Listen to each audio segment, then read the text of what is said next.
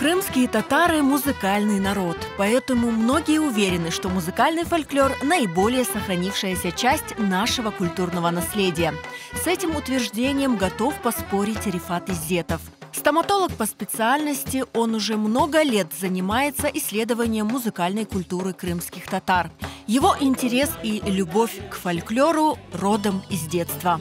Э, в моей семье э, всегда звучали песни, крымско-татарские песни. Я рос со своей прабабушкой, с бабушкой, и они вместе очень часто мне пели. Началось все с колыбельных, потом мы разучивали какие-то детские песенки. И вот так вот эта вот любовь к народной музыке, к народной песне, она привилась.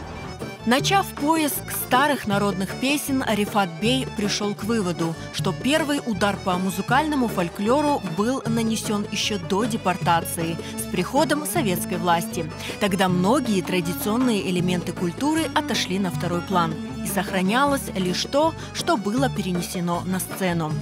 Довершили этот процесс депортация и ссылка. То общество, которое было до депортации, где каждое село имело каких-то своих исполнителей, своих певцов, своих знатоков народных песен, своих музыкантов.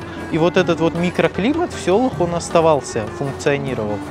А после депортации все эти носители этой информации, они либо умерли в первые годы после ссылки, либо их просто некому было тогда записывать.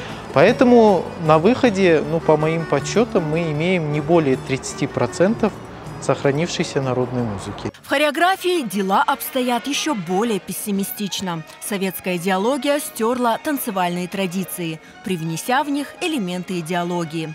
По словам Арифата Изетова, от исконной хореографической культуры у нас осталось не больше 15%. Но мы приобрели несвойственную нам парность мужчин и женщины. У нас этого раньше не было. Женщины, как в мусульманском обществе, танцевали отдельно, у них были свои танцы. Мужчины танцевали отдельно, у них были свои танцы.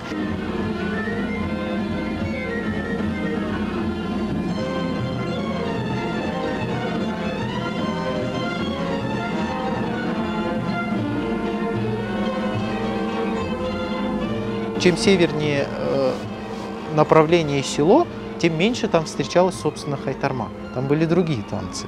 Хайтарма городская и хайтарма, например, южного берега, они сильно отличались друг от друга.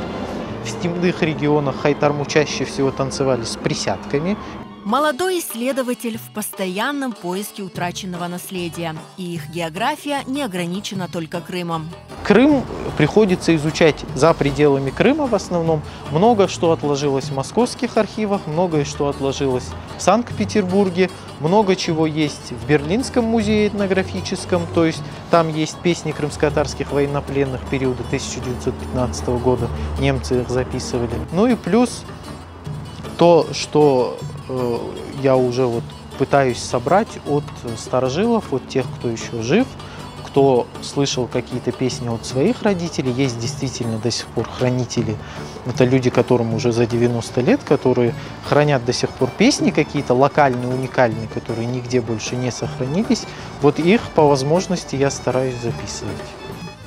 Сегодняшнее состояние и пути развития крымско-татарской музыкальной культуры не вызывают у Рифата Изетова оптимизма. Исследователь считает, что задача композиторов, музыкантов, певцов и танцоров – не допустить потери национальной аутентичности, особенно в сохранении музыкального фольклора.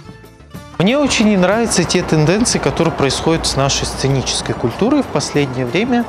Вот почему народ, у которого 300-летняя государственность, имеет сейчас 5 сценических танцев. Например, у нас очень любят сейчас вставлять из Кавказа вот эти вот куски, где только ударные инструменты.